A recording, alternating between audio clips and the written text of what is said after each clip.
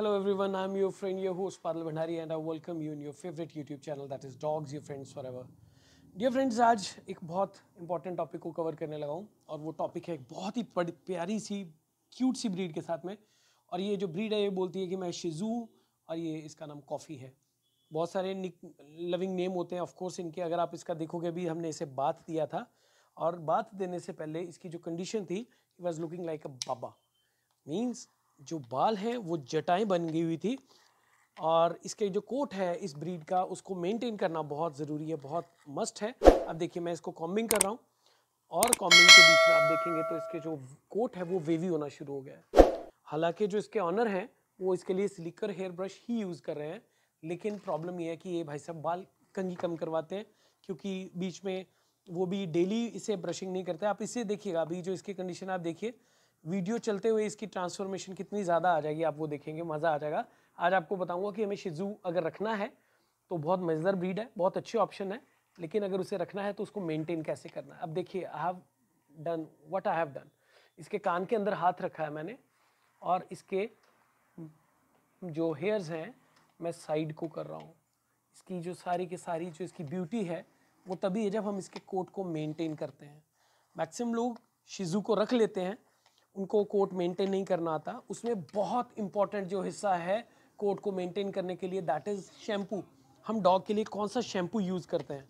Again मैं इसके लिए एंडी का सैलून सीरीज़ या सेवन इफ़ेक्ट्स शैम्पू रिकमेंड कर रहा हूँ। मैं अभी दिखाऊँगा आपको वीडियो में वो शैम्पू भी जो हम यूज़ कर रहे हैं इसके लिए। मतलब जिस शैम्पू से हमने इसे बात दिया है।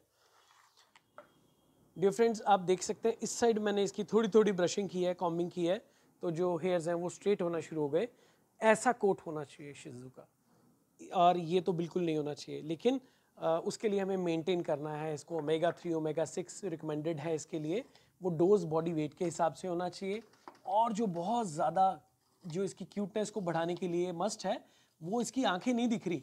और जो आँखें हैं वो दिखना बहुत ज़रूरी है। आँखें दिखना बहुत ज़रूरी है। इसको मेंटेन करना बहुत ज़रूरी है। उसके लिए मैं पहले अभी क्योंकि बात के बाद में इसे ब्रशिंग कर रहा हूँ। ताकि इसके बाल स्ट्रेट हो जाए। मुझे पता हो कि हमने कौन सी क्लिपिंग करनी है बालों की। विंटर्स के हिसाब से बता रहा हूँ। गर्मियों में तो आप इनके बाल छोटे बड़े कैसे भी रख सकते हैं बट विंटर्स में जो आइज़ हैं, उनको मेंटेन करना आइज़ का जो आयाल है, उसको मेंटेन करना बहुत ज़रूरी है। अभी आपने इसका देख लिया फेस अब मैं इसका थोड़ा थोड़ा ट्रिमिंग करने लगा हूँ तो आपको क्लियर हो जाएगा कि इसका चेहरे का कैसी कंडीशन होनी चाहिए। इसके जो मैं हेयर्स हैं, पहले तो मैं बिल्कुल स्ट्रेट काट रहा हूँ। फ्रंट को बाल करके, वो काट रहा हूँ सो दैट इसका चेहरा दिखना शुरू हो। चेहरा दिखने से सबसे प्लस पॉइंट ये होगा कि जब ये खाना खाएगा तो इसका, इसके जो फेस है वो गंदा नहीं होगा। कुछ भी चिपकेगा नहीं, वरना फेस पे भी गांठें बनना शुरू हो जाएँगी। हिल स्टार्ट स्टिंकिंग और समटाइम्स फंगल या बैक्टीरियल इन्फेक्शन भी होने के चांसेस हो जाते हैं। आप देखिए, इसका थोड़ा सा अभी तक मैंने हेयर कट किया है फेस का और ये थोड़ा थोड़ा दिखना शुरू हो गए भाई साहब। हम इसके आइज़ को क्लीन करने की कोशिश करते हैं तो मेक श्योर sure जो इसकी आइज़ के आसपास का पार्ट है, उसको हम अच्छे से क्लीन कर लें, उन बालों को छोटा कर लें सो so दैट उसको देखने में, उसका जो विज़न है, वो उसको दिक्कत ना आए और उसके लिए हमें बहुत सॉफ्टली हैंडल करना है ऐसे डॉग को। अगर हम आइज़ को क्लीन अच्छे से नहीं करेंगे तो डॉग की आँख से बार बार पानी आता रहेगा, वो जो पानी आएगा, वो इसलिए आएगा क्योंकि उसके हेयर्स बार बार उसकी आँख में चुभ रहे हैं। और वो पानी आएगा, पानी आने की वजह से वहाँ निशान बन जाएगा और निशान होने के बाद में उसके ऊपर जब वो स्टार्च जैसा आता है तो बड़ा स्टिंकी और बड़ा गंदा सा वो लुक होना शुरू हो जाता है। ऐसे देखने में लगता है वो बीमार है। और डेफिनेटली अगर हम आज को मेंटेन नहीं करेंगे तो उसका जो कॉर्निया वगैरह, वो डैमेज होने के जो चांसेस हैं, वो भी बहुत ज़्यादा हो जाते हैं। तो ये भाई साहब का चेहरा आपने पहले देखा था? छोटे से बाबा जी का, वो दिख नहीं रहा था। अब हम इसकी आँखें भी मेंटेन करेंगे। मैंने सीज़र बड़ी ली है सिंपल वाली सीज़र ली है, जो इसलिए लिया आपको बताने के लिए। मेरे पास प्रोफेशनल सीज़र्स भी हैं, लेकिन हर किसी के घर में आप वो पंद्रह सौ, दो हज़ार रुपये वाली हेयर कटिंग वाली सीज़र नहीं लेके आ सकते, ना लाने की ज़रूरत है। और सीज़र बड़े वाली जो मैंने लिया उसके अलावा एक और चीज़ को समझा रहा हूँ टेक्निकल पॉइंट बता रहा हूँ। कभी भी सीज़र को अंदर को रख के नहीं काटना, इस तरह से बाल नहीं काटना, जब भी काटना, इस तरह से नहीं काटना, क्योंकि अगर ऐसे बाल काट रहे हैं और डॉग ने अगर आँख हिला दी, मुँह हिला दिया तो that can be dangerous for his eye तो आपको जब काटना है तो इस तरह से काटना है अगर वो ऐसे करेगा भी तो वो ओवर ओवर हो जाएगा। टेक्निकल बात बता रहा हूँ। इतनी बारीकी से जिस वे से मैं आपको ये चीज़ें बताता हूँ कोई भी नहीं बताएगा। सब लोग पैन वर्ल्ड से मेरे पास में अपने डॉग को लेके नहीं आ सकते लेकिन मैं सारी दुनिया को ये तो बता सकता हूँ कि आप अपने डॉग को घर में इजीली कैसे मेंटेन कर सकते हो। खास करके शिजू जैसे बच्चे को जिन सिटीज़ में सैलून नहीं है वो क्या करेंगे? है ना? हाँ जी हाँ जी हाँ जी। हम हम बात कर रहे हैं हम बात कर रहे हैं। मूछे भी काटेंगे हम तो मूछे काटेंगे। हम तो हाँ जी जी हाँ जी हाँ जी अब इसकी अगर मैंने आइज़ की अगर मैं बात करूँ थोड़ा थोड़ा दिखना शुरू हुई है और अगेन उसी वे से ही काटना है। फिंगर आई के ऊपर कर दी। गुड बॉय फिंगर को, हाथ को आई के ऊपर इस तरह से रख के यहाँ के जो बाल हैं, आप उसको इस वे से काट सकते हैं, जैसे मैं इसमें बता रहा हूँ। और ये सिर्फ़ शिजू के लिए नहीं है, ये आप टॉय पॉम के लिए भी इस तरह से कर सकते हैं। कल्चर पॉम के लिए कर सकते हैं, लहासा एप्सो के लिए कर सकते हैं, किसी भी ऐसी ब्रीड के जिसके बाल बड़े हैं और वो जो सुंदर है, पिकिनीज है, उसके लिए भी हम कर सकते हैं। हाँ जी हाँ जी हाँ जी हाँ हम किसी का डॉग देखते हैं, किसी का शिजू देखते हैं, जिसका कोट बहुत अच्छे से मेंटेन होता है। हर इंसान ड्रीम करता है कि मैं भी डॉग रखूँ, शिजू डॉग रखूँ और उसकी कंडीशन जो है वो बहुत अच्छी हो। बिल्कुल ऐसा ही होना चाहिए, लेकिन उसके लिए बहुत ज़्यादा एफर्ट्स करने पड़ते हैं। ऑनर्स को उस तरह का कोट मेंटेन करने के लिए सो so दैट जैसे जैसे सिंपल सी बात है, जैसे हम अपने ह्यूमन बेबीज़ को मेंटेन करते हैं, अगर बच्चों के बिटिया के बाल बड़े हैं तो मदर का फ़र्ज़ बनता है उसके बालों को मेंटेन करना। ऐसे ही अगर हमने पेट रखा है जिसके बाल बड़े रखने हैं हमें तो उसका जो मेंटेनेंस है, वो टोटल ऑनर पे डिपेंड करता है।